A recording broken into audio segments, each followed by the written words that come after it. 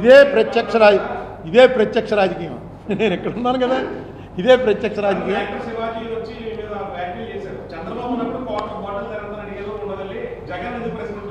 మళ్ళీ మళ్ళీ పెడదాం. అమిత్ షా. మళ్ళీ పెడదాం. రామోజీరావు మీద అయిపోయాక.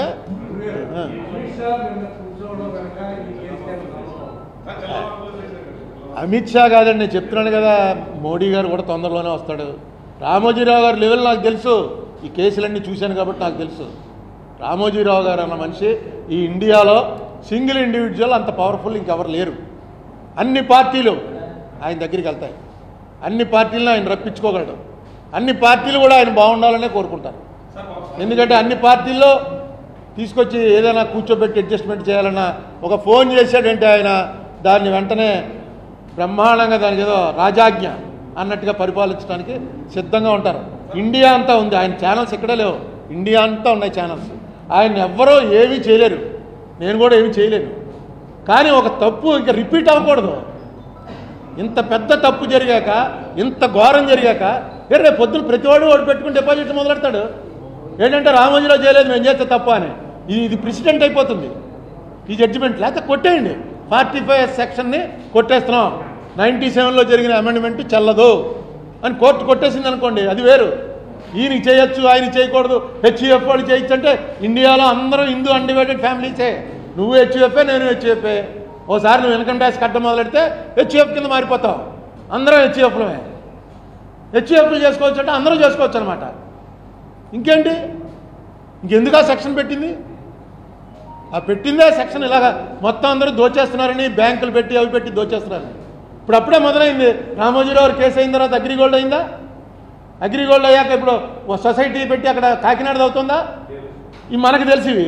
ఇంకా విలేజ్ లెవెల్లో టౌన్ లెవెల్లో సిటీ లెవెల్లో జిల్లా లెవెల్లో ఎన్ని వచ్చాయో ఏమీ చేయలేని పరిస్థితిలో ఉండి ఉండొచ్చు. ఎందుకంటే ఈ కేసే ప్రెసిడెంట్ కాబట్టి. సో ఈ కేసును ఒక లాజికల్ ఎండ్కి తీసుకురావాలన్నదే నా కోరిక. దాంట్లో ఎవరిని పనిష్ చేస్తారా చేయరా? ఇవన్నీ వేరే విషయం. మార్గదర్శి మార్గదర్శి వారు మొత్తం అందరికీ మేము రీపే చేసేసాం అని చెప్పారు. మన హైకోర్టు వారు ఏమన్నారంటే నాకు రీపే చేయలేదు అని ఎవరూ రాలేదు కాబట్టి ఇచ్చేసినట్టుగానే ఒప్పుకుంటున్నాను. ఎవరి దగ్గరికి వెళ్ళాలి? అది నాకు రీపే చేయలేదు అని ఎవరి దగ్గరికి వెళ్ళాలి? ఎవరు దానికి అథారిటీ? ఎవరైనా ఉండాలి కదా నాకు డబ్బులు ఇవ్వలేదండి.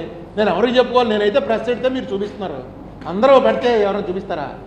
గవర్నమెంట్కి పెట్టండనో కోర్టుకి పెట్టండనో టైం ఇచ్చి ఈ టైంలోగా మీరు చెప్పుకోండి అని అసలు ఎవరు కూడా ఇందులో కలెక్ట్ చేసుకోవడానికి వీల్లేదంటే ఎవరు రావడానికి వీల్లేదని ఆయన స్టేలు తెచ్చాడు ఎవరు అడగటానికి వీలేదు.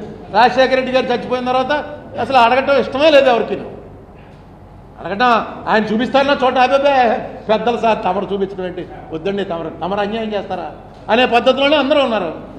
నేను మీకు లాస్ట్ ప్రెస్ మీట్లో చెప్పాను ఇప్పుడు మళ్ళీ చెప్తున్నాను. ఒకసారి గవర్నమెంట్ కానీ జప్తు చేసిందా? వాడికి ఉన్నటువంటి విలువ సగానికో పాతిక్కో పడిపోతుంది. అది మనందరికీ తెలుసు. ఎందుకంటే మనం ఒక ఇల్లు కొంటున్నాం ఆ ఇల్లు పది లక్షల రూపాయలకు కొంటే ఐదు లక్షలు ఆరు లక్షలు వైట్ మిగతాది బ్లాకు. కోర్టు వారు అమ్మితే ఆరు లక్షలు వైట్ ఇచ్చి కొనుక్కోవాలి.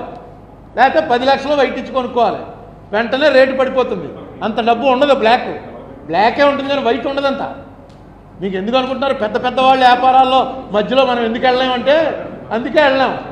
పెద్ద పెద్ద వాళ్ళ వ్యాపారాల్లో వాళ్ళకి తెలిసేవి. ఎలా బ్లాక్ వైట్ చేయాలి? ఎలా డబ్బు తీసుకురావాలి? రామోజీరావు గారు అదే చేశారన్నటువంటి కేసే నాకు యాభై నాలుగు పేజీలు పంపాడు ఆర్ఓసి.